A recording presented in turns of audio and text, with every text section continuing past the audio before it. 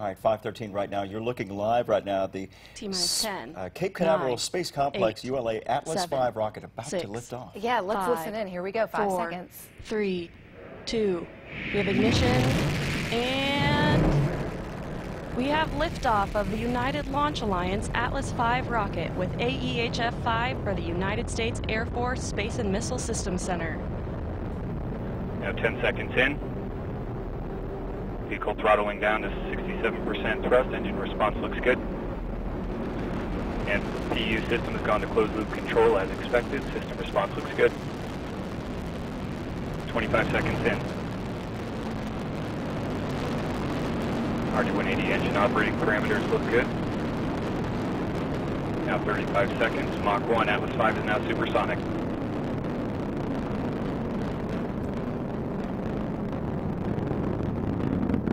45 seconds in, RD-180 continuing to look good.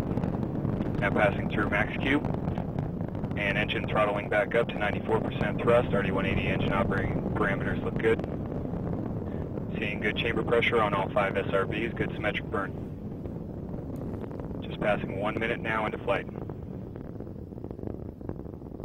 RD-180 continuing to look good. Also seeing good chamber pressure across all five SRBs.